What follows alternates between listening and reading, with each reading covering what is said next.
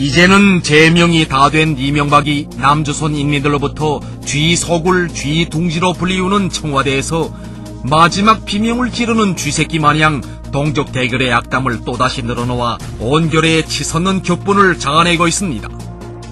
이명박은 15일 외교안보 자문단 간담회와 제7차 국민원로회의라는 데서 그 누구의 핵 문제를 꺼들며 가소롭게 놀아대던 끝에 북핵 문제의 근본 해법은 정권 교체를 통한 체제 변화에 있다고 역설했습니다.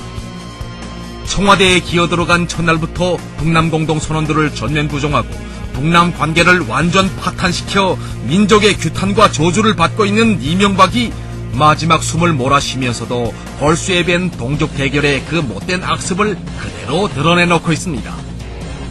세인이 공인하듯이 이명박의 집권 기간은 4대 매국과 동족 대결로 일관된 반민족적이며 반통일적인 암흑의 5년이었습니다. 지금 온 세계는 나라와 민족의 자주권을 귀중히 여기고 미국을 비롯한 적대 세력들의 온갖 반공화국 모략책동과 제재망동을 선군의 위력으로 짓부셔버리며 연전연승을 이룩하고 있는 우리 공화국에 아낌없는 찬사와 절대적인 지지를 보내고 있습니다.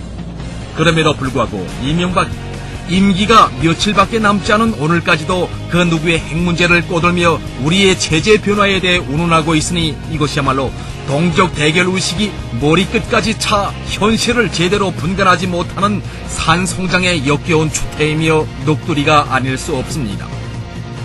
이명박의 이번 망발은 집권기간 저지른 반통일적 죄악으로 온 결의 규탄과 배격 속에 파멸의 낭떠러지로 굴러떨어지는 대결 분자의 단말마적인 비명소리며 마지막까지 동족 대결, 체제 대결을 고수해서 이를 다음 정권에까지 이어지게 하려는 대결병 환자의 히스테리적 발작입니다.